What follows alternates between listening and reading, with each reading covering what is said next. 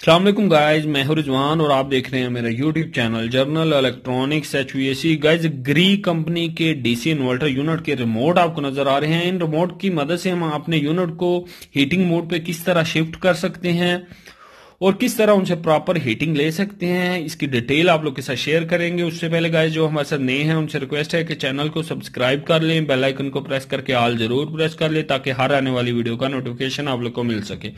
तो गाइज़ सबसे पहले हमने हमारा यूनिट जो है अभी ये कूलिंग मोड पे है, ये ऑप्शन जो है कूलिंग मोड का है। यहाँ से हम अपने यूनिट को हीटिंग मोड पे शिफ्ट करेंगे। तो शिफ्ट करने के लिए हम ये M O D E mode का बटन है, इसको एक दफ़ा प्रेस करेंगे। ये ड्राई के ऑप्शन पे गया, दूसरी दफ़ा प्रेस करेंगे। ये फ़ैन पे आ गया।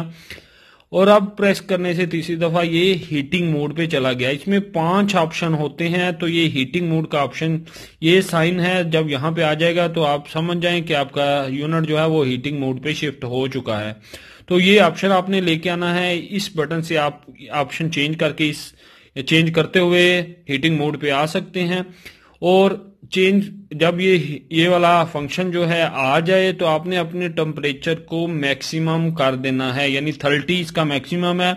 तो मैक्सिमम करने से होगा ये कि आपका यूनिट आपको बहुत हाई हीट प्रोवाइड करेगा, बहुत ज़्यादा हीट देगा। और अगर आपको हीट ज़्यादा लगे तो आप इस टेम्परेचर को कम करते हुए अपनी हीट को कम भी कर सकते हैं। यानी आप जितना टेम्परेचर कम करेंगे, आपकी यूनिट की हीट जो है वो कम होती जाएगी। जितना टेम्परेचर को हाई करेंगे, इसकी हीट जो है वो मैक्सिमम चली जाएगी, ज़्यादा हो जाएगी।